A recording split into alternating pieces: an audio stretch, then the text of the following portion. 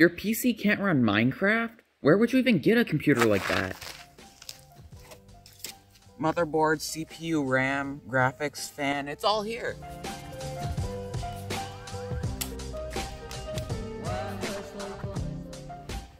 I got a hard drive. I'm plugging it in.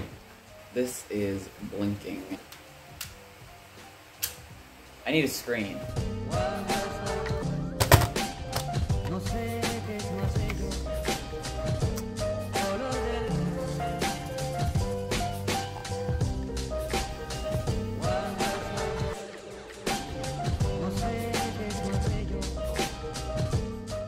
All right. No way! That was an error message. Oh, it's working. The mouse cursor is one pixel. Whoa! How am I gonna run Resolve now?